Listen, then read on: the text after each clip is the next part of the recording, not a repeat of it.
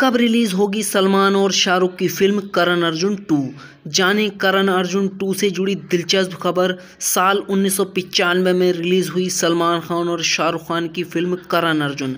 आज भी फ़ैन को खूब पसंद आती है।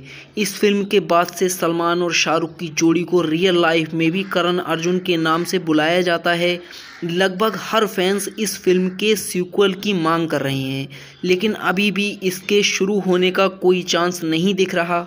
आज हम आपको कुछ ऐसी ही नई बॉलीवुड जोड़ियों के बारे में बताएँगे जो कभी करण अर्जुन टू बनने पर उनमें लीड रोल निभा सकते हैं। वरुण धवन और टाइगर श्रॉफ दोनों ही बॉलीवुड के नए और अच्छे कलाकार हैं और बेहद ही कम समय में इन दोनों ने बॉलीवुड में बहुत अच्छा मुकाम हासिल किया है।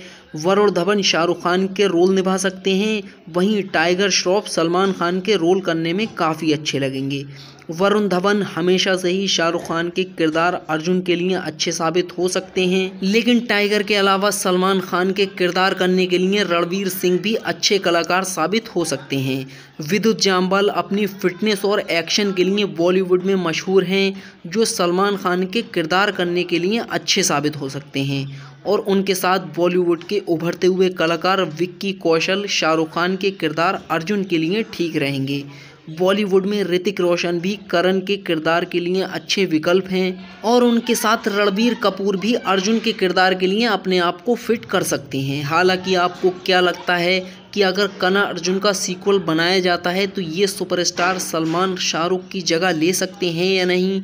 क्या आप करण अर्जुन टू में भी सलमान और शाहरुख को ही देखना चाहते हैं? या फिर बताए गए इन सुपरस्टारों की लिस्ट में से आप किसको देखना चाहते हैं? आप ये भी हमें कमेंट सेक्शन में ज़रूर बताएँ।